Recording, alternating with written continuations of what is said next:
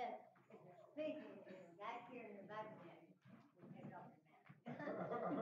Um, there are two chairs up here and one in the back. And two right there.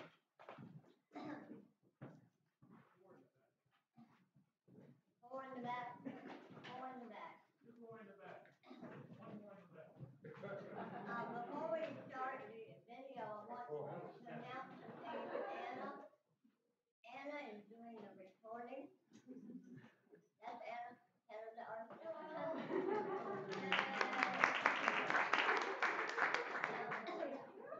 She tells me three things.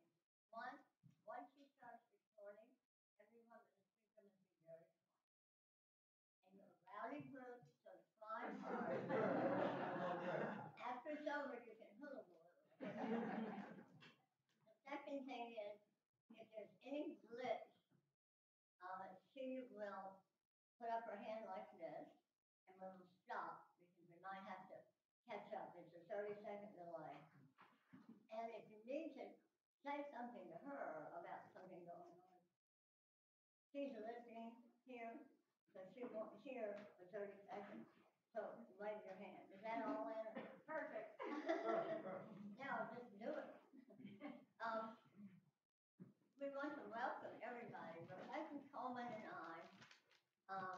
10 years ago, that's Rebecca, you know, 10 years ago this next month, said to one another There are a lot of people in Orange that we see, but we don't get to talk to, we're just rushing by. And there are other people in Orange County we don't even know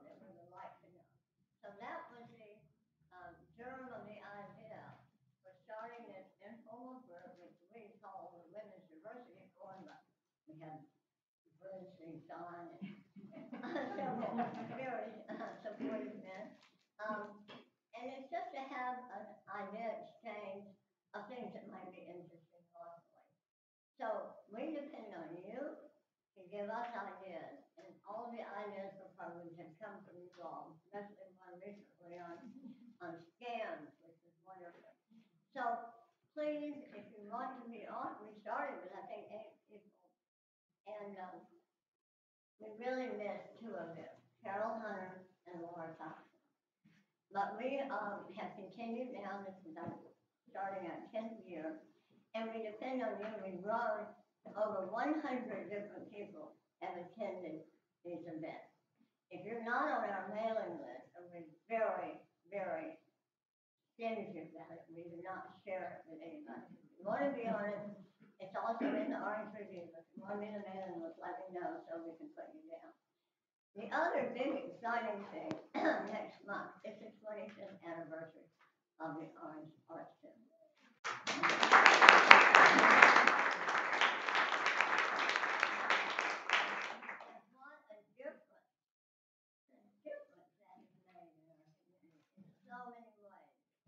There are two things I want to mention going on right now. Um, one thing is a workshop next Sunday, Saturday and Sunday, fifth and and it's called Soft Fabrics, or Sculpture from Soft Fabrics. And this is a woman who's going to do all day, two days, uh, helping you tell your story, particularly your family story, or whatever story is part of your life, and then making some kind of sculpture that relates to that. And if you can sign up for that, I, I thought it'd be a wonderful thing. Now, my grandchildren are in Denver, Oslo, uh, Dallas, I can't even remember. Um, but if you have a grandchild here, I would think it'd be a wonderful thing for the two of you to tell the story and make the sculpture, or, or a son or daughter. So, um, that's just something to keep in mind that's coming up. The other thing you probably read about, they're gonna redo the mural. Um, Linda Marston Reed has had this wonderful mural, and unfortunately, obviously, will not stand up forever, and it's gonna be redone. So, they need volunteers. Anna needs all kinds of volunteers. She needs people to help the artist paint. Uh, she needs cleanup. So if you or your kids have any, uh, come on in, do we have some seats back here? Well, one in the back and, uh, two here. if you have, um, any children that you can control or or you yourself, please talk to Anna because there are multitude of things that she needs help on. It's a big project. They're gonna be selecting the artist very soon. And then they will have a meeting for all the volunteers, and that happens in May, right? Well, so, um, we're gonna, we're gonna talk to our volunteers and kind of marshal the troops before then. Um, but the first artist event is going to be on May twenty-eighth. And so we need, I mean, it is actually gonna be three different murals that are all painted throughout the town, um, one after another from June to August. So it's gonna be exciting, it's gonna be something that we want everybody to be involved with. And although we are selecting the artists based on, a proposed design and their portfolio, whether they've done these kinds of things before, we're also selecting them based on whether they're willing to listen to community feedback on the final design. So that artist event on May twenty-eighth is gonna be the opportunity for people to meet the first artist, see the proposed design, get excited about it, and say to that artist, hey, we really love that you've come to our town. Or if they're local, it's like, hey, good seeing you again, we've kept it open, anybody can apply. Um, but to say, you know, hey, maybe they've given us a design with some beautiful sunflowers, well, we're not a sunflower town, are we? So let's do or roses instead, you know, that kind of feedback is gonna be absolutely welcome and will help the artist make sure that their mural that they give for us is something that reflects Orange. So that community element and getting involved is super important. Um, we want this kind of project to give us three murals at the end of it that everybody can be proud of, that everybody has participated in. And hopefully this becomes a program that we can grow and continue keeping more public art in Orange, um, to really help our community become even more bright, vibrant and creative. So. And so when you, when you go by, you know, that beautiful mural that gonna be later, you or your children years later can say, I had a part in that. Um, and this, this program goes on all summer, right? So if you're away for June, there'll be opportunities in, in July. If you're away in July, there'll be opportunities in August. So please, it's a community thing and it needs to have the community participation. Well, I was saying that, um, ten years ago, this next month, we had this small meeting in Alexander with this wonderful cadre of people, of you and others who have uh, been presenters and been attendees. One of the very first people at that tiny meeting was Ellen Wessel. And she has been continually through the ten years, such a supporter. And how many people here were on the walk with Harriet? Raise your hand. Okay. Got some back there too, yeah, right here. So, uh, Ellen is gonna introduce the presentation, I know you will enjoy it.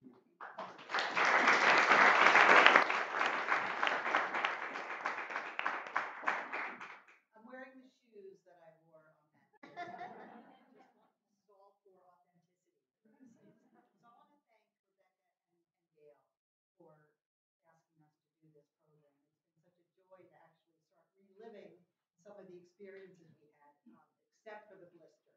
which Took about two weeks to resolve after the trip was over.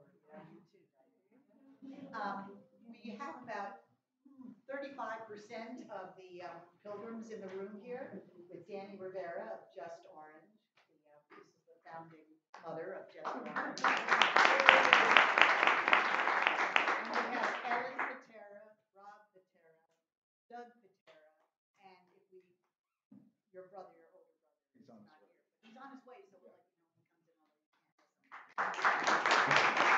And also, we have joining us today is Diane Nichols and her husband Nathan, who drove all the way from Maryland.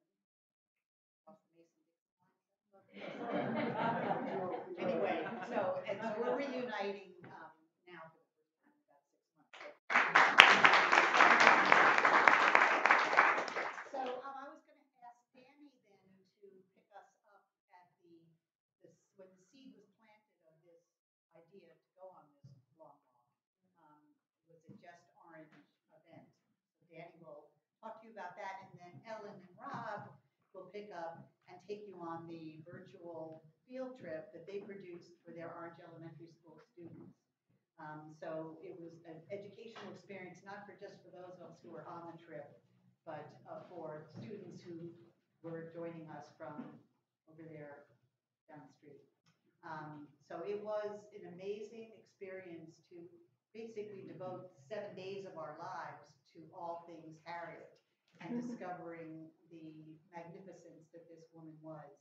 Um, and we, um, spent seven nights, six nights, I guess six nights, um, cohabitating. Um, so there was a lot of, um, sharing, um, our own different viewpoints and what brought us to join this walk. Uh, but mostly it was just an incredible, joyful opportunity for us all to get to know each other and celebrate this incredible person whose two hundredth anniversary of her birth is this year. So I will now turn it over to Dani Rivera. All right. So, hi everybody. Um, oh my gosh, this uh, whole journey started um, when I met Ellen Pitera at a uh, petition signing event that we did last January um, out in front of La Naranja, and I met Ellen for the first time. We got to talking and we exchanged uh, phone numbers and, and just connected on social media. And um, one day I got a little ping on my phone, and it was a text from Ellen asking me if I had heard of this song by an artist named Cynthia Erivo, and the song is called Stand Up, and it was one of the soundtracks from the movie uh, We Walk with Harriet. And I hadn't heard the song, so she sent me the clip to the video, which I hope that we're able, you guys, we will share with you guys today at the end of the presentation.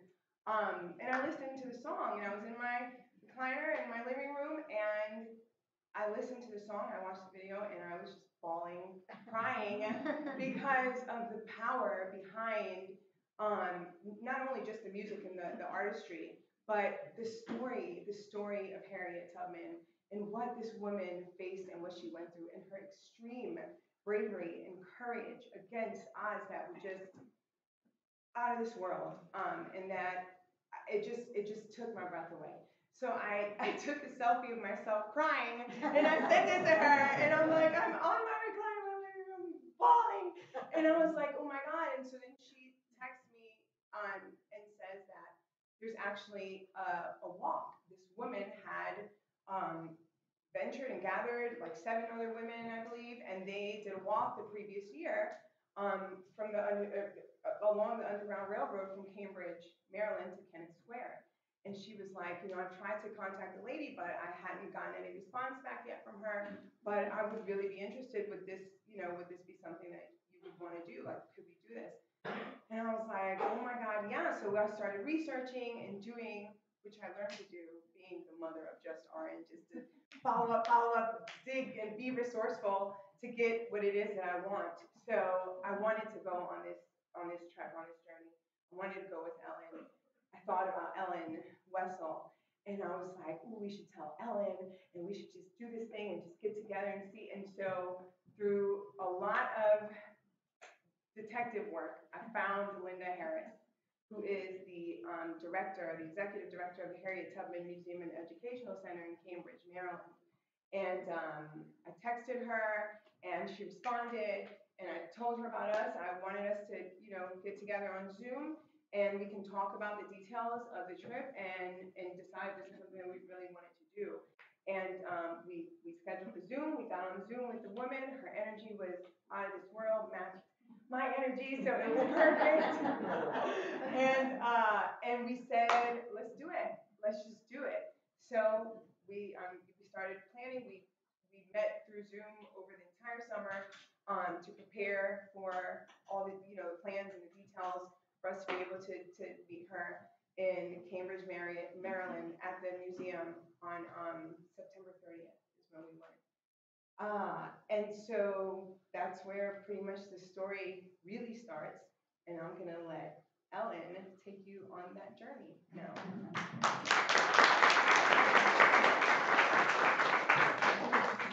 Thanks, Dani. Thanks um, for coming, you guys. It's really, it's really uh, humbling to see so many people who are interested in, in this journey. And um, we had an incredible time, as Dani and Ellen were saying, um, on the journey. Um, and just as a side note, for our personal family, for the reason we went on this trip is not only because we are amazed by Harriet, but when Rob turned 50, we took our boys and we hiked the Grand Canyon South Rim, almost the top of the North Rim. We got snowed out the top and then back again. So just a big family adventure. So when I turned 50 this year, I was like, this is the adventure I want to take. I want to follow Harriet. So that's sort of where it started. And, and for some reason on Facebook, the, the walk last year that they did just popped up in my feed. You know, Facebook is mysterious like that. So, um, so anyway, that's how I learned about it. Um, and then Dani is amazing at tracking down people, so she took that piece and connected us um, to Linda. So what Rob and I did um, is we took this this passion for this trip and we shared it with our students. So I teach art at Orange Elementary School, which means I teach kindergartners all the way to fifth grade, and Rob teaches fourth grade. So before we went, I prepared my kids. I taught them about Harriet. And then we did an art project, and I'll share that in just a second, um, around Harriet. Some of my students are here today, so they can tell you if they liked it or not. Most kids did. Um, and then Rob, while we were there, Rob was on a Google Meet with his class on the phone um, during these different, each, each day, and um, sort of different phases um, of the trip. So he'll tell you about that part of it. And his class was invited, they showed up every day to Google Meet, but the whole school was invited. So some days, some teachers would be there, and other days, other teachers would be there. So all the kids got a very real and personal um, feel to Harriet, not just a figure in a, in a picture in a book, but like the actual journey that she took. So we were really excited to share that um, that with kids. So um, I'm going to show you some pictures, and if, just scroll over here. There's a little, yeah, just go down one. So this is a video I want to show you that I showed to my students, not the kindergartners, but the rest of the kids, that just gives you this really quick, fast glimpse of who Harriet is, like start to finish. And I think they just did a really great job, and I couldn't have done it any better. So I was like, we're going to show them this. And then I had other things to explain. Um, and the artwork that we did will explains like the, the emotion uh, that Harriet, that I, I think Harriet experienced in that. So we're going to watch this just for like four minutes, and we'll, I'll keep talking.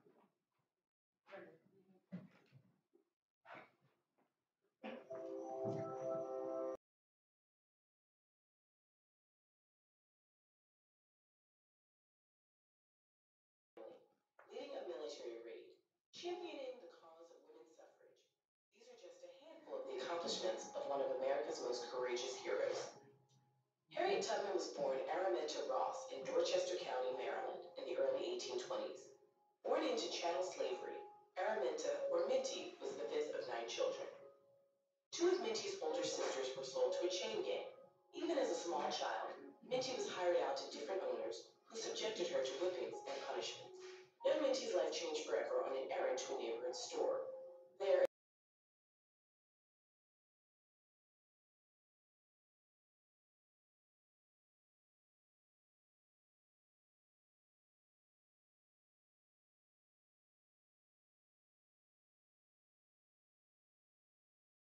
person who fell into sleeping spells. She was instead put to work with her father, Ben Ross, who taught her how to lumber. Lumbering increased Minty's physical strength and put her in touch with free black sailors who shipped the wood to the north. From them, Minty learned about the secret communications that occurred along trade routes, information that would prove invaluable later in her life. In this mixed atmosphere of free and enslaved blacks working side by side, Minty met John Tubman.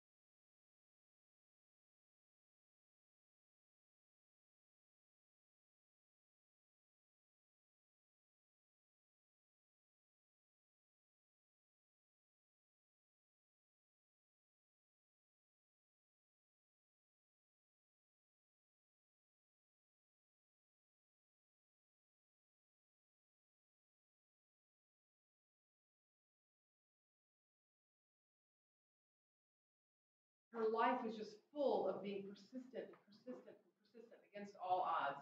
So that's why I showed them that. And then I also, the project that we did with them, I wanted them to understand the persistency of Harriet Tubman, but also I wanted them to understand the fear that she, I'm, I'm guessing she had running through the woods in the middle of the night, especially that first trip that she took leaving Cambridge and going up to Kennett Square. So I put before the kids, I said, here's what we're gonna do. We're gonna put Harriet in our project, we're gonna put her in the woods at night, in the dark, obviously, and like, what, what is she experiencing? What is she doing? So when I was thinking through the project to begin with, I thought, well, we're gonna do a paper collage. So I started cutting out all this paper for the kids to use, and then I thought, the cutting of the paper, those fine lines, they're just too, they're just too neat and tidy. So what we ended up doing, and the kids just love this, is we just started ripping paper. And the actual jagged edges just added this, this, the emotion and the rawness of the trip um, to, to help the kids understand that. So this is, uh, Doug did this one. This is an example. There's another one, in the slideshow of what they did. They had the black paper and then they had um, brown tones for the woods and then they had some different colors. Like they could decide, is it gonna be in the winter time? Is this in the fall? Is it the summer? You do what you do to the trees, however you wish. So some of the kids, and then they had to, with a Sharpie marker, they had to put Harriet in the, in the picture somewhere. So I wish I, I should have put more slides up here of what the kids did because it was just incredible how they showed fear in, of Harriet in their artwork. It was just amazing. Um, and some of them had the moon out, some of them had her, I don't think she actually carried a lantern the first time she did this, but they had her with a lantern, you know. And some of, uh, the one that you'll see in the slideshow in a minute, she put a, a safe house in the woods, which was really cool. So it was just amazing to watch them process the whole thing and, and bring it out on a, in an piece. So, um, so anyway, uh, I'll take you a couple days and then Rob's gonna get up and take us through a couple of days. So here's where we started on the Brodess Plantation.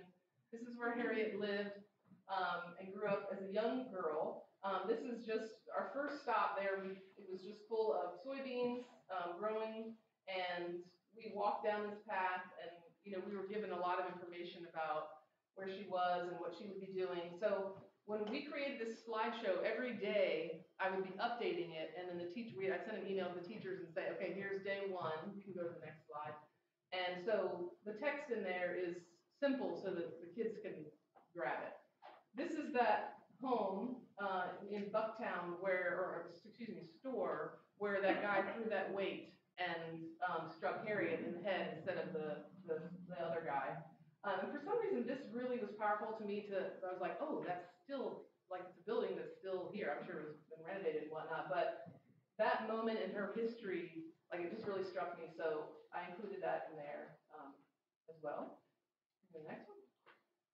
This is, um, at the Thompson Plantation. So Harriet spent a lot of time walking between the Brodess Plantation and the Thompson Plantation. Was it like ten miles maybe? So this is what struck me here is that she walked a lot to go from farm to farm. And so it was normal for her to be not with anybody for hours at a time, walking from place to place. So that helped her. She thought through that. That helped her figure out an escape route because she could be missing for many hours and no one would really be looking for her. So that's how she was able to, to leave and not be missed for a while. So on the Thompson plantation, this was called the witness tree. And it's this huge, huge tulip poplar. All four of us, Doug, Charlie, me, and Rob, went around it and could barely hold hands all the way around this tree. Um, and this is called the witness tree because they say that this is, you know, Harriet was at this tree and waiting for people to meet her there and things like that. Um, so that was also pretty powerful to be near something that she was. So on the same day, we took a wagon ride, which was um, part of a mode of transportation that Harriet used. Um, so we were going, and again, this is areas that she knew really well because she would be walking here all the time. Um, so that was an easy way for her to sneak out and not get too tired walking.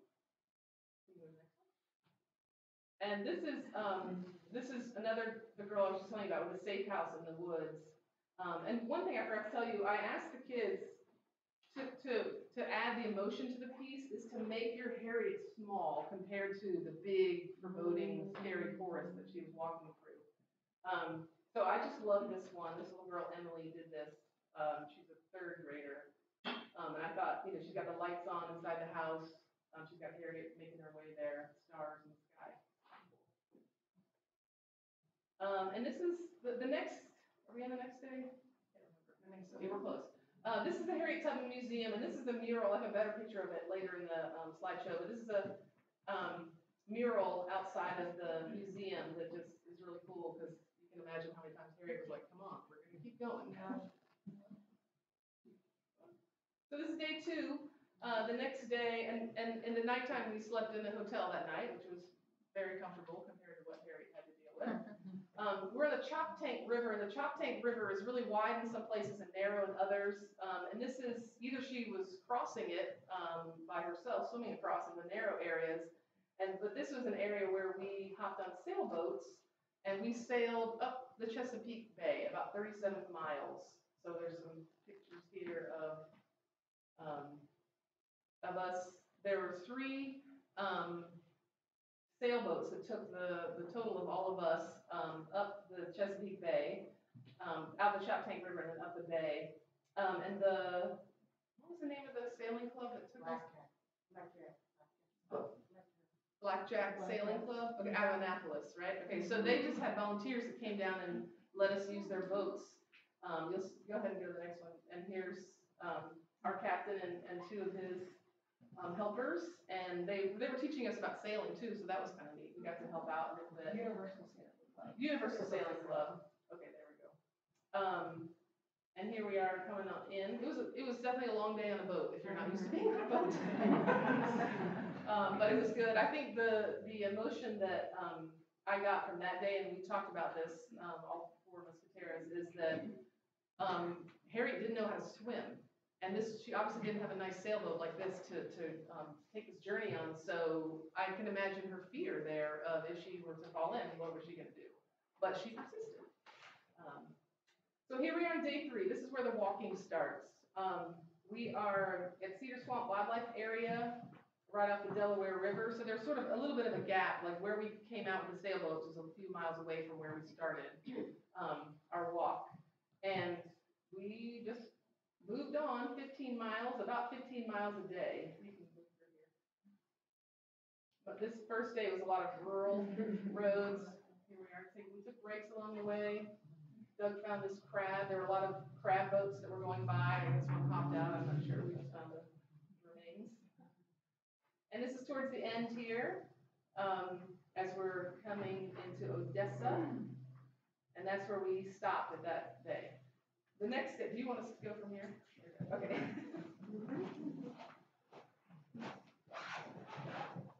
So it was really great being able to share um, this experience with my class, and most of the fourth grade tuned in every day, but um, everybody in the school had a link. So a couple days we had second grade classes in, and then we had some fifth grade classes in.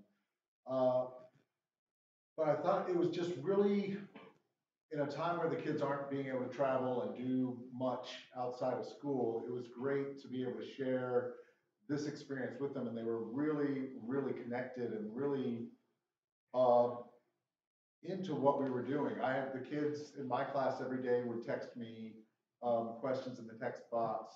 When we got back, I've had students every other day just come up to me and ask me questions in the hallway or um, before after school. So, so the really powerful thing for them was just all the different modes. Like when we were doing the carriage ride, um, you know, we were on the the Google Meet while we did that, um, and the kids just loved it. Um, you know, they saw where we were going, how we're going. Things were bumpy. It was loud. Um, we were kind of uncomfortable. We were kind of crammed in there, but um, but just showing them all the steps along the way, and then one of the the other times, you know, we're walking down a road in a remote area, um, but the kids could see, oh, you know, there's a horse over here, so we went over and said hello to the horse and, um, just walking along, and then, um, well, we'll get to here. Uh, so, we were walking through, the great thing was just all the different topography and geography there too, and how integral the water part of the, uh, experience was for Harriet, just, um, it's a whole lot easier to go on the river than, um, you know, fighting through the briars and the, the trees in the woods. Uh, and then also it covered her scent and it was also a lot quicker and safer, um, for her to travel. Um, walking along all these old side roads too was really interesting and just the different reactions you would get, um, from people. We got a lot of thumbs up and horn beeping and, you know, way to go kind of things. And then we got a couple, you're number ones, but with the wrong finger and just, um, so it was just,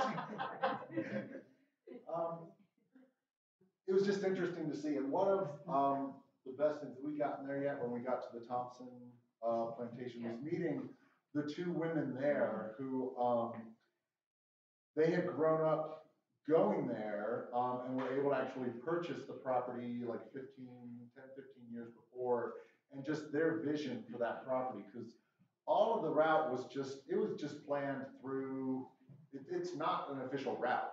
I mean, we, the, the Brodess plantation, we had to get special permission to walk on there, because it's still a private, um, farm.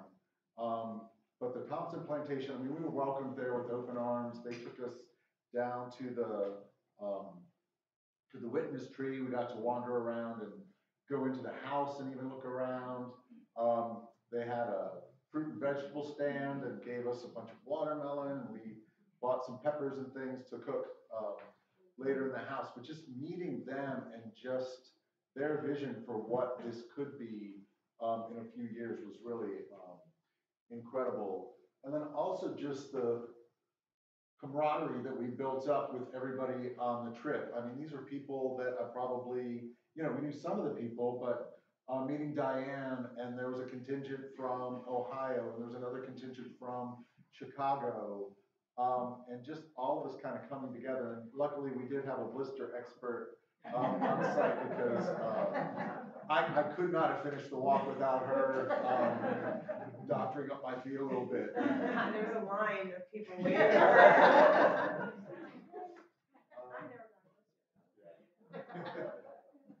Um, and then just different places we went, like we walked through this park, um, one day and just the people were like, oh, what are you doing? You know, and just being able to stop and share and then having them share with us. Um, we got, uh, our, our van driver got stuck one day. Um, I feel you have a picture I don't know. um, it, it's actually the six foot ditch, um, is what, what I found out was called, because he got stuck and somebody came up to him, like, oh gosh, and, you know, tried to tow him out with his truck, and was like, I got a buddy who's got a tractor, hold on, and, um, But the funny thing was he didn't want to, he was trying to get himself out of the ditch before we walked up on him, because he didn't want us to see. And he drove, driven the car, and- or the truck into the ditch, and we were like, is that a, is that a joke, or? Because as we're coming up over the hill, we see the van, and we're like, um, Chad, you okay? So. we had walked a little bit slower. Yeah, yeah, and he said it, he was like, wow, I didn't want you guys to see that. I was trying to get out of there. But even that, I mean, that was just a great little, um, sidetrack there. Uh, and then, um, and then the guy who, who pulled him out was like, oh, you know, I remember going to my, my grandmother's house and there were special compartments in the basement and in the walls, um, that, that you would go to. He's like, the next time you do this walk, you know, I would love to have, um, you guys come and see that. And we met- Yeah. Um, and then another guy was talking like, oh yeah, my town, you know, they had these tunnels that they had dug, like hundreds of yard tunnels that they had dug underneath the ground to transport, um, enslaved people who were escaping. So, um, and I- that was the guy we just met in the park. He was Yeah, right. exercising in Oh, the yeah, park. yeah, right. Um, and he just stopped. So they wanted to hear about us, but then we also got to listen and hear about all, um, that they had to say. Um, this statue here was really, really powerful. Um, we did a Google Meet there and the kids just, I mean, there are all these little, um, I forget this gentleman's name, but he, Garrett. Um, he basically went bankrupt and went to jail, um, because he was arrested and they took his land away because he was funding all of that. He was giving money for the carriage drivers and for, uh, clothing and stuff, and, um, gosh, I wish, you know, here's Harriet at the top. Um, she's almost like, um, what do we call that thing on the front of a ship kind of thing, like, that's kind of the, the feel that you got, and then there's just, you know, there's shoes here in the back, um, and people pulling each other along, and just, it was just a, a really incredible piece of art that told a really interesting story. I think we spent about ten minutes walking around, um, the, the statue, and the kids kept asking questions. Ellen did it from the art perspective, I did a little from the history perspective, and then, um, Linda. yeah, and then Linda came in and really delved into, because I was limited in what I knew, and she really talked about each different piece in the thing and just the significance of it. It was really um, incredible. This is, um, Oh, walking through Wilmington. yeah, we found something, I forget what that was. That says Big orange deli. things, it Yeah, said orange orange, we were representing all of them, we were really happy to see that. And that was interesting too, just kind of going through, um, the towns and just trying to, um, connect with our driver too. He was, you know, trying to find us, you'd think it would be easy in this day and age, but it really kind of, um, was harder than we thought it would be. Um, yeah.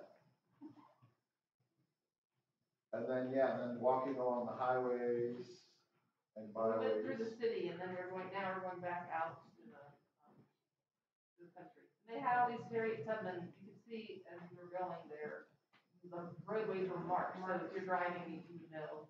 where you're going. You wanna take over? Sure. So this is the, the last day of walking, so this is a really, was really important day, um, because this is where we walked from Delaware into Pennsylvania, which is basically the, once you cross over into Pennsylvania, that's your, that's the line of freedom. And so for us, you know, when we cross over, we know, you know, welcome to Virginia, you get these big signs, but it wasn't like that, um, when Harriet was doing that. Um, so on that, when we, cro- go ahead and go to the next slide.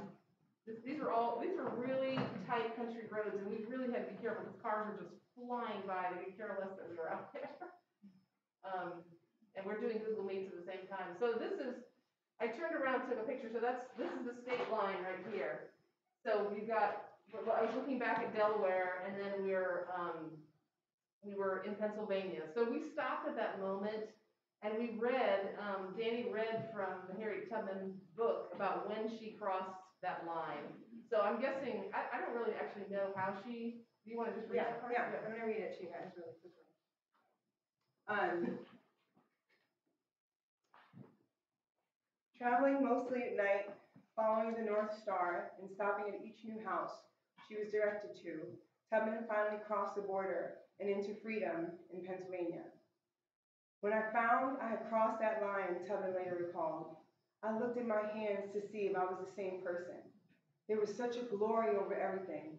The sun came like gold through the trees and over the fields, and I felt like I was in heaven.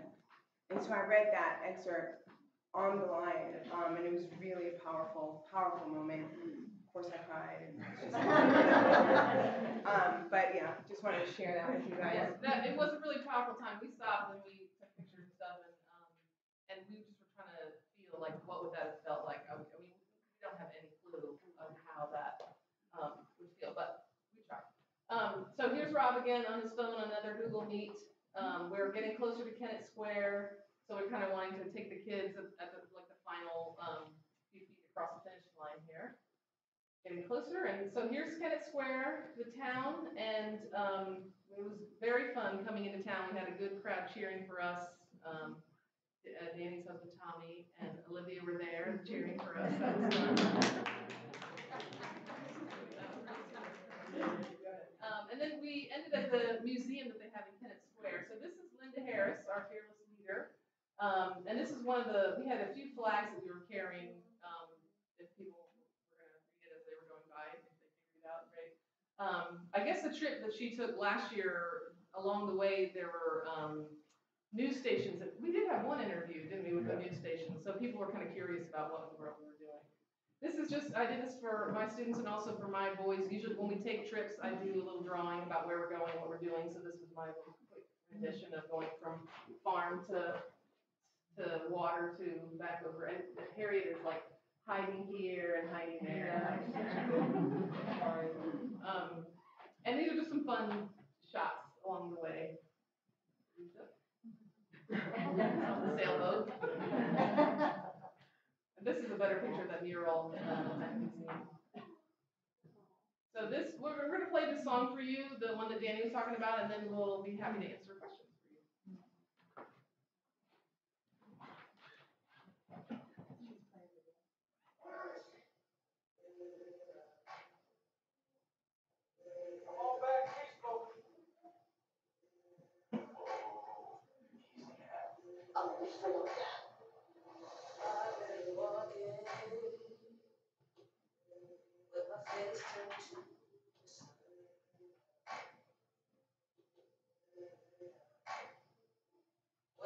Weight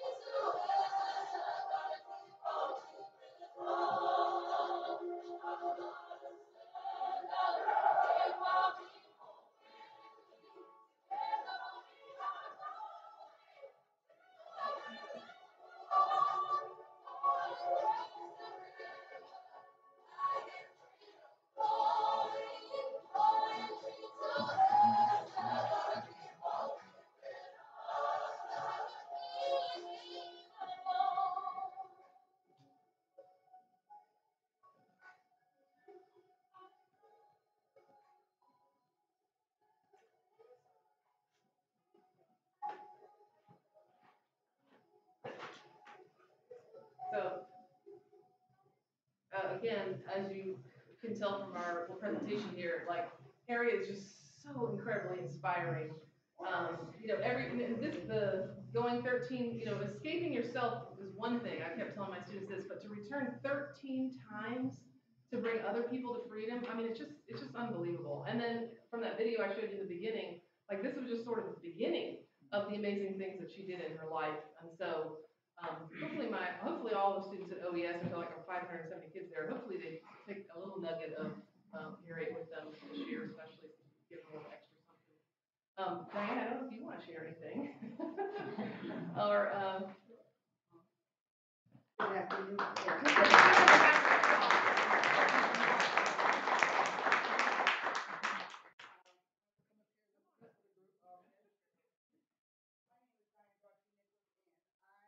just happened to be online, and I followed Linda Harris last year with her trek from Cambridge, Maryland to Kennett Square. So she brought something online that said, I'm doing this again, and I had just retired. And I said, why not? I'm retired, I got nothing else to do.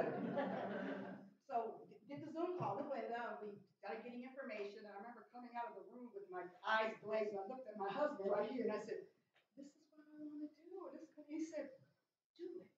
He said, I, said, give me my blessing. So the series of Zoom calls, we met each other and learned, and learned a lot about it. It was, in retrospect, it is an experience that I cannot, I cannot forget. I will pass this on to my grandchildren, my great-grandchildren. But one thing that taught me is when we were in the last phase of the walk, Linda asked all of us, what do we think about this adventure? Remember that? She was filming us. A number of years ago, my father-in-law, my husband's dad, uh, was a minister and was marrying our niece. And as he was pronouncing the man and wife, he looked around all of us that were present.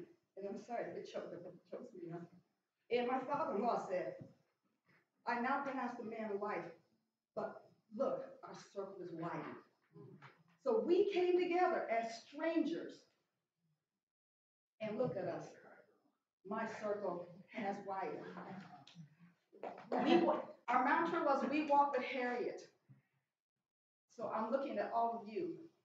Find the Harriet in you and widen your circle because I widen mine and I feel so blessed to have these people in my life.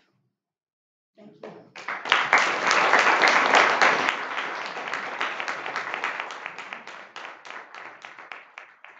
Well said, Diane, well said.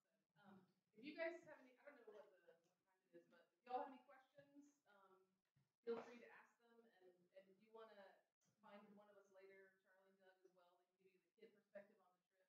Um, Uh, I'd love to answer questions. I do want to add one thing, though. I know Oh, Ellen mentioned, yeah. Ellen mentioned earlier about, um, plans to have the uh, Jackson twenty turned into the Tubman Yeah, that twenty. was on the video. And it can be done today here if you like. Uh, This is the before, this is the after. So if anybody would like me to stamp their twenty dollar bill with Harriet Tubman's picture, it's legal tender. I just want to assure you. I have- You can order those stamps on Amazon. Yeah. Yeah.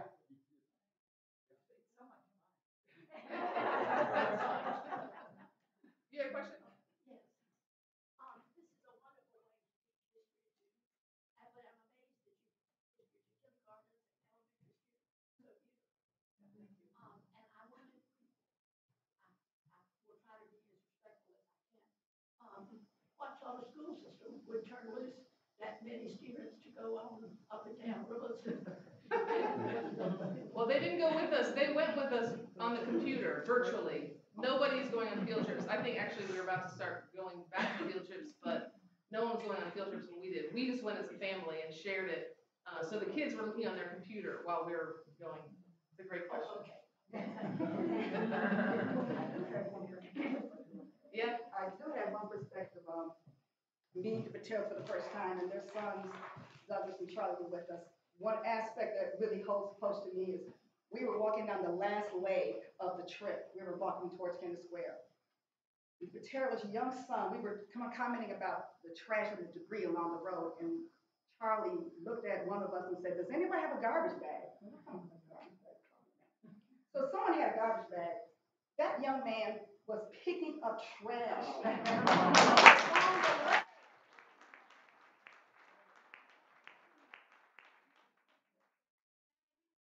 I mean, we, we, we used to pick up trash too, you know. But it goes to show you the tenacity and the caring that that young man had. So I'm saying, and the little, little one showed me. Thank- That, that's something that I hold close to my heart. Thank you, Charlie. I, I, I always hope that and bless you for that. Thank you.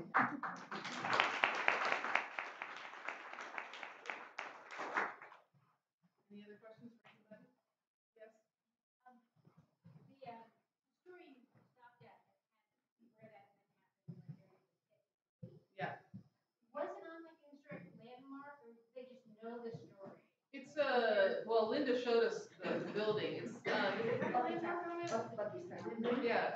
Yeah, there's, there's a historic landmark there, but it's, it's not really open to the public, like, we couldn't even go inside. Every once in a while, it's open and, It's a general store. Yeah. So it's set up as if it's an old general store when you walk in there. but it's, it's a museum, but it's not open Yeah. very often.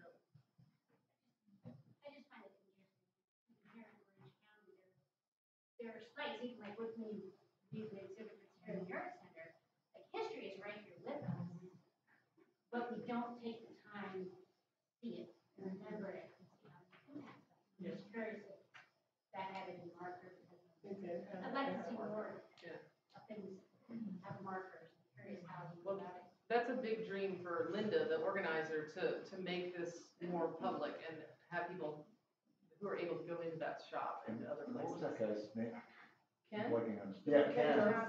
Yeah, he is amazing. He actually does hikes. The guy went with us on. Yeah, so he was there for parts and he planned a lot of the routes.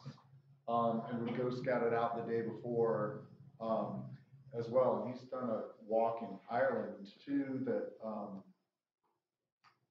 it's a famous walk that I've, He's walked all through the United States. yeah, There's- he's- yeah. um, Yeah. Yeah.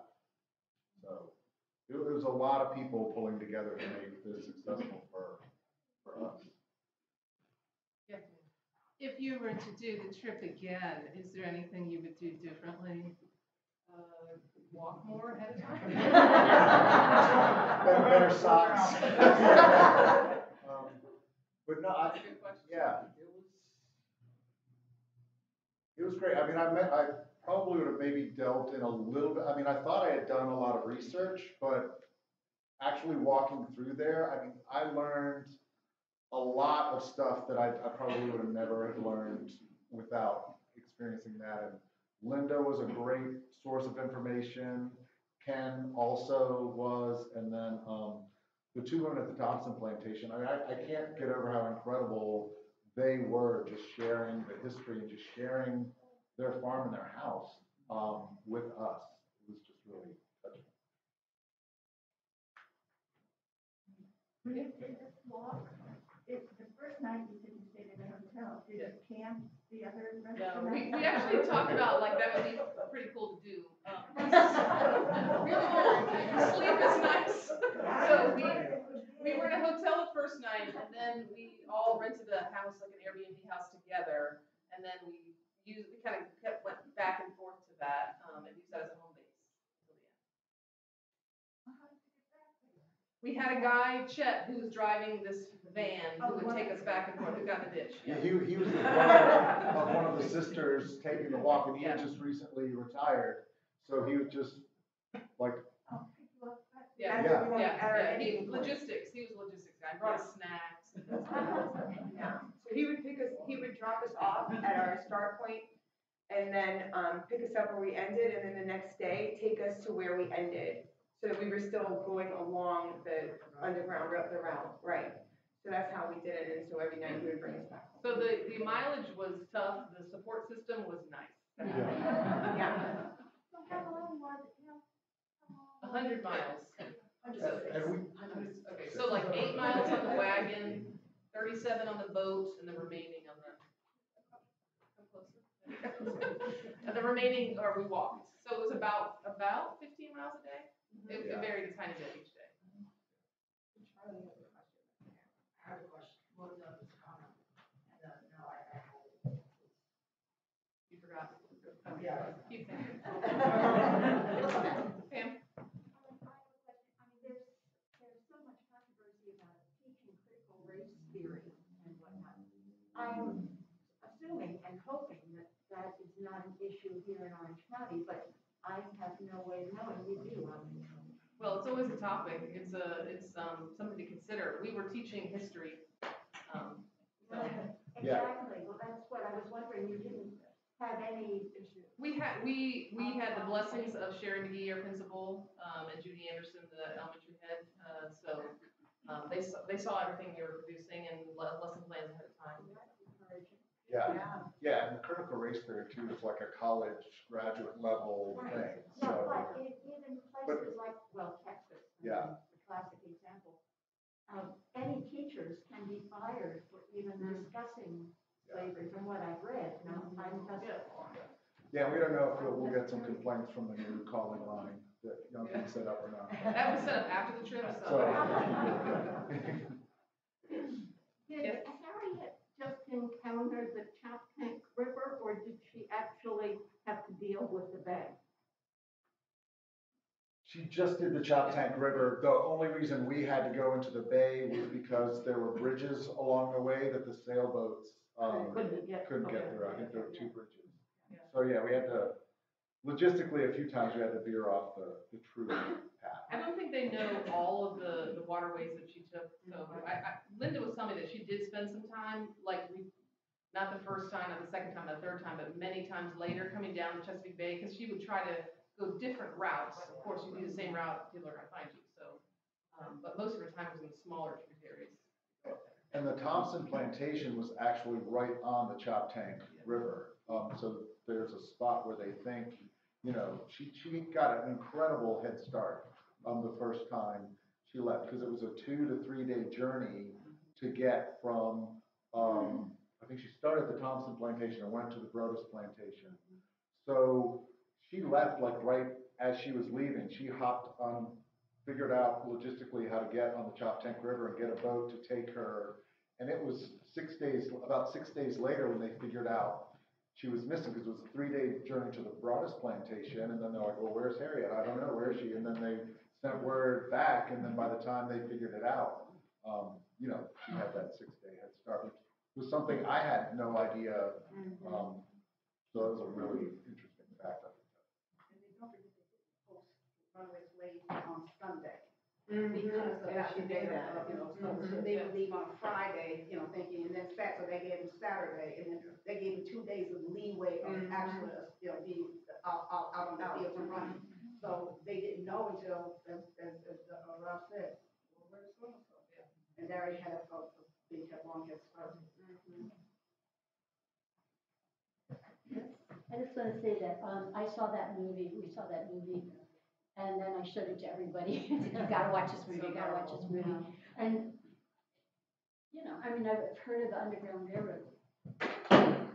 With railroad, you know? Yeah. And then, but then, all the things that you learn about this young girl and the skills that she had, the courage that she had, um, the risk that she took. I, I mean, just amazingly skilled. Yeah, yeah. And she was fierce. Well, there, You know? I learned in that video too, the first one I showed you, that she was learning the sailors who were coming, the freed Yeah. slaves, she was learning secrets from them, and she was doing all this physical labor, so she was like in tip-top shape Right. to even Right. think about going on a journey like that. Right, and, um, and so when, um, when I got the email, um, from Rebecca, I was so excited that you guys went on this trip, because, um, you see that movie and you wanna do this, you, you, why don't, why don't we know all of this about this woman, I know. you know, this movie? So, Thank you, thank you for bringing it to us. Let's give a round of applause and then we can. box for us,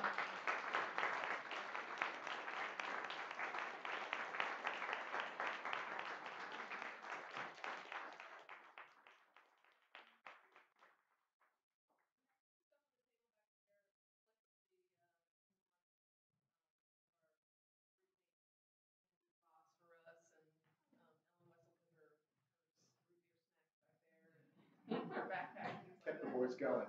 Yeah. So But I'm feel happy to defile anybody's twenty dollar bill. yeah, and feel free, yeah, feel free to come ask us questions, ask the boys questions. And also, if anybody wants information on these walks with Harriet, um, we definitely have, uh, contact information to share with you guys. So if you wanted, if you were interested to find out how maybe you can participate and do something like this. And, and once a month, they do the jazz at the mural. It's, it's a drive, but you went. and Yes, went to um, ja- when they do jazz, um, Linda Harris, uh, like I said, is the executive director of the museum there. And she, um, to help with fu- funding the, the museum and just help, you know, running that show, she does jazz, um, at the mural and has different artists come out and, and play, and, um, she sells tickets for that, and so that's happening, starting again April 9th. It's every second Tuesday of the month at the, at the Harriet Tubman Museum, at the Rio Lot, at the mural. And I've been there. What city is that? Huh? What city is that? Cambridge, Cambridge, Maryland, in Cambridge, Maryland, so it's not really far away if you wanted ever to just go up there, I went and it was incredible, I actually got to be a backup singer. Linda Harris is also a jazz singer. She and is. She is fabulous. She is. Singer and songwriter. Well, here, one more. Um, it said something about having a picture on the twenty dollar bill. Has that any, been anything that, like Congress has? Yeah, I think took it out for It was all. suspended. Yeah, It it was, was after the the last Obama presidency. administration left office, the the successor suspended Yes. that um, changeover to the Department of Treasury. Between twenty sixteen and twenty twenty. In that four-year period. Yeah, it was the last administration.